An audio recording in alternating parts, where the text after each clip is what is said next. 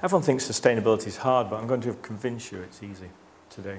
Um, I can get this to work. Oh, which one do I press? Oh, that one. Ah. Um, but the problem is when we look at our current position, here we are today in 2012, and our Earth share, unfortunately, is well beyond where it should be.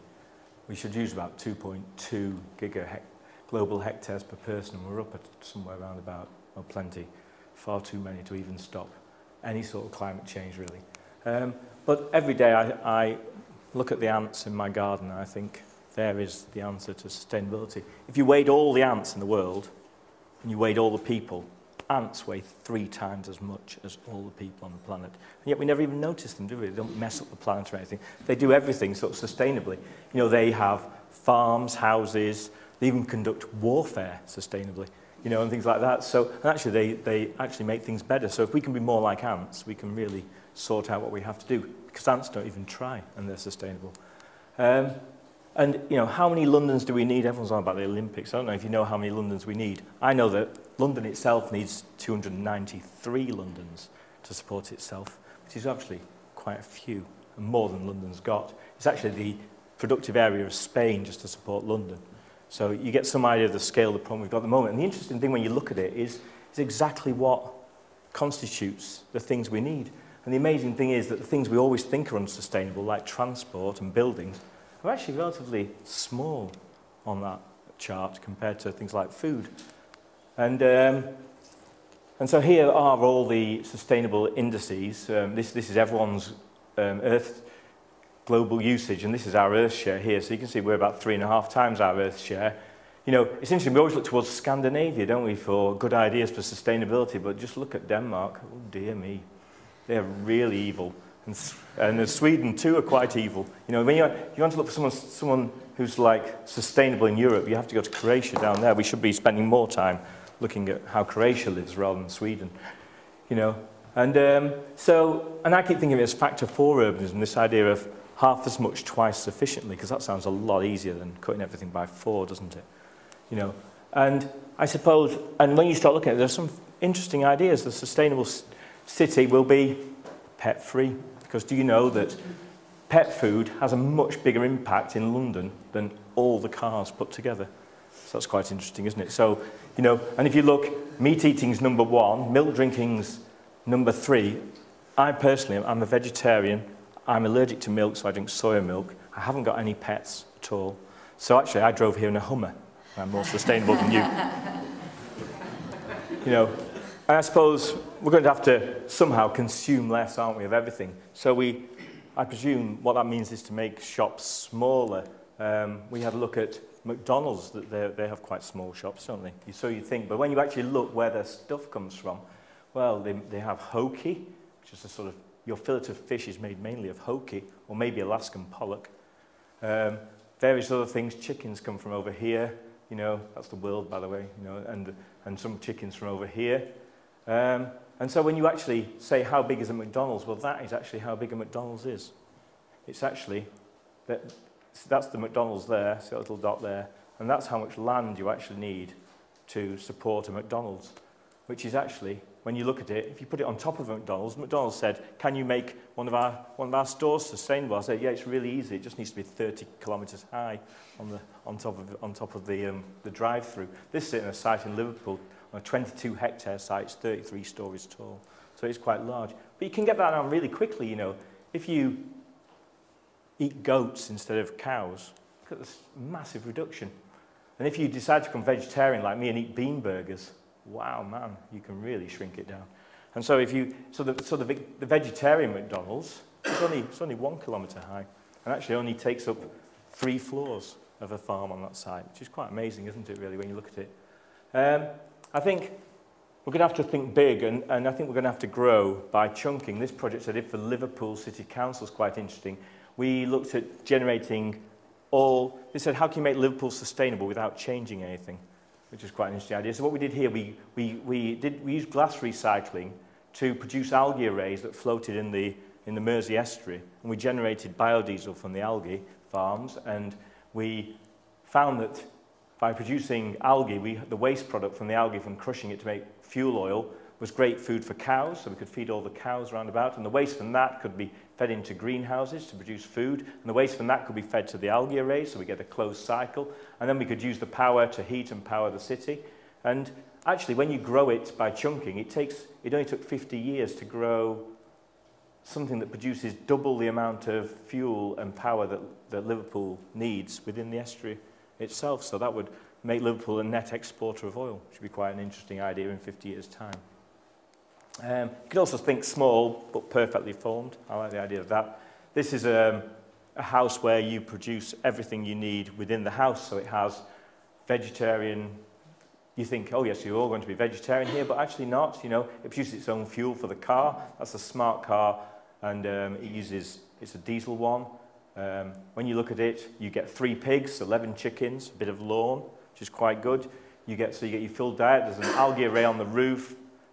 There's a wind turbine in the back garden. You also get um, um, a pond underneath your floor here, can you see? That has tilapia in, which are very tasty fish, and they like to live on vegetable waste, so you chuck all your vegetable waste in with the fish.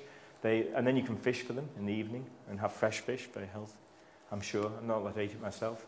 I'm sure it's good. So you can live in an incredibly small space and that's got zero usage. I, I think you know, one of the things that we don't do is make enough business opportunities out of sustainability. Um, we were looking at a project in Nelson, and everyone knows that to make somewhere sustainable, you sort of do that, don't you? You know, and you put photovoltaics on the roof, makes everyone happy. Well, what we did, we were a bit had a different idea because Nelson's a poor, sad little town with a hill outside it with nothing really going on. What we did, we used the energy from those cells to power an Olympic ski resort. We made a giant um, sort of inflatable sort of mountain. And inside that, we, we used um, all the electricity to produce um, snow. So we could get 365 days a year skiing. On the hill, on Pendle Hill, we could get every Olympic event. On there without any remodeling, so it's quite easy. Everyone could travel by train, and all the waste heat from the, from the snow power heats all the homes in Pendle. So you end up getting a, a new economy for a place without, by just adding photovoltaic cells. And that's what I call synergistic urbanism, really. You know, I, I think, you know, everyone knows we should grow our own. What about furniture? We did a project with IKEA.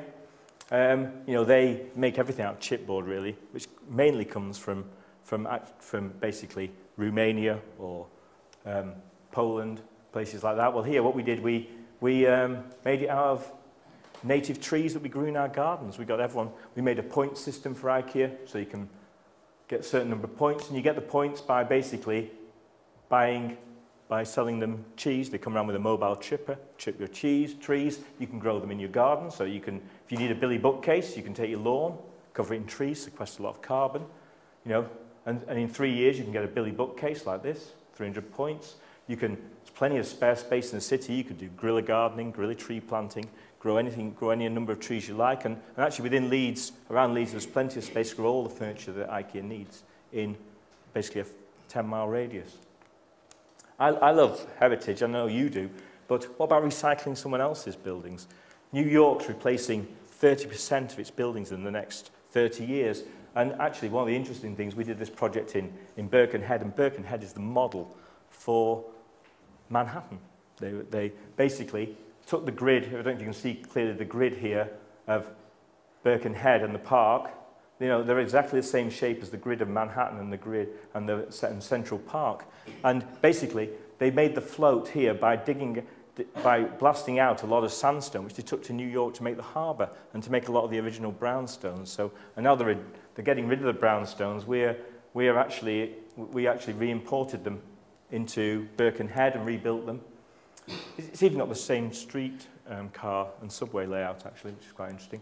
And then eventually we, we, we worked out exactly how much there was in, in terms of the buildings. We shipped them back over and we built this fantastic view. Look what you see from Liverpool now, a whole New York circa 1950. Very nice, you know. Here you go. It's even, we even made it its own state, so it could be a little bit of America on British soil, which I'm sure Americans like you would like, wouldn't you? I think. Would you enjoy that? I'm from Canada. Oh, Canada. Well, sorry about that.